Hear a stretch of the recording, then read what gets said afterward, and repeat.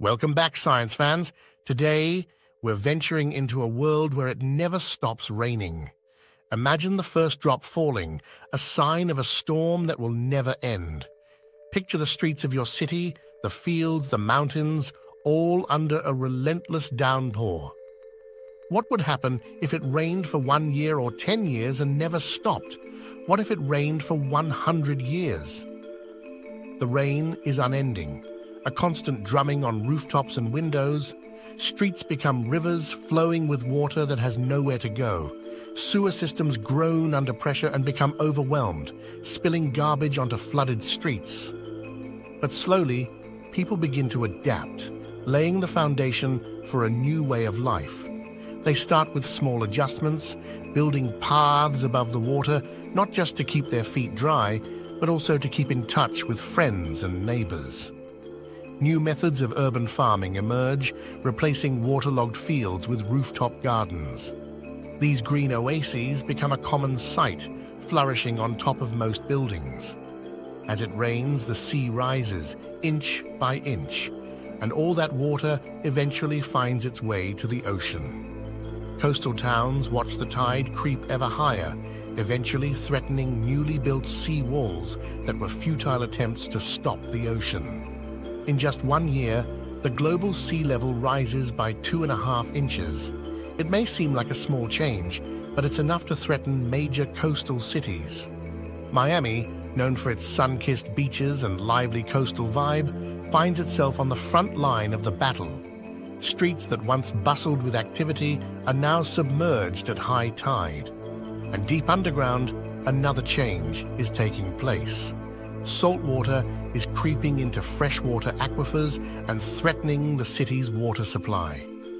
Engineers try to stop the contamination, but they soon realize that with all the rain, these underground caverns are relics of the past. Over the next few years, Miami evolves. Beaches that were once the playgrounds of sun seekers and surfers are now abandoned. They're repurposed into practical spaces like flood barriers. Survival begins to be prioritized over leisure. A decade passes, and the rain continues, a constant companion to every living thing. Cities are transformed, with towering sea walls and floating buildings. People move to higher ground and find new ways to live, abandoning homes swallowed by the rising sea. Farmers develop innovative farming techniques such as floating gardens and vertical agriculture. Scientists turn to futuristic water collection and purification methods.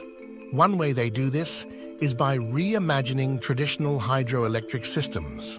Specialized catchment systems are strategically positioned to gather rainwater, which is then channeled into a network of super turbines. These turbines are engineered to harness the energy of the constant flow, turning the endless rain into a power source. Unlike traditional dams that rely on the gravitational force of falling or flowing water, these redesigned plants utilize perpetual rain. The continuous downpour turns the turbines, generating energy day and night. In a soaked world, human ingenuity finds ways to thrive. But not all can adapt. Wildlife struggles, ecosystems shift, and the world becomes a place of extremes. Most regions are drowned, while a few become arid and desolate. The balance of nature is disrupted as humanity faces challenges it had never imagined. After a century of rain, the Earth is transformed into a water world. Enough rain has fallen to fill a million Grand Canyons. Well-known sites like the Great Plains have become inland seas, while the Rocky Mountains emerge as islands in a new ocean world. Cities like New York and San Francisco are partially submerged, their skylines forever altered. The sea has risen by several feet, reshaping coastlines and transforming places like Florida into narrow peninsulas. Floating cities dot the horizon, marvels of engineering. Society has been reshaped, molded by the need to live in the water. And at the same time, some of our most favorite friends find ways to hunt, shelter, and reproduce in a waterlogged world. Over eons, the rain will transform life as we know it, and species will evolve to fill these new niches. So then, you may be wondering how much water it would take to cover all the land on Earth. Well, our oceans currently contain around 312 billion cubic miles of water, but to submerge every inch of land, we'd need to more than triple that amount. The world as we know it would be unrecognizable. Only the highest peaks, like those in the Himalayas, the Andes, and the Rockies, would remain islands in a vast sea.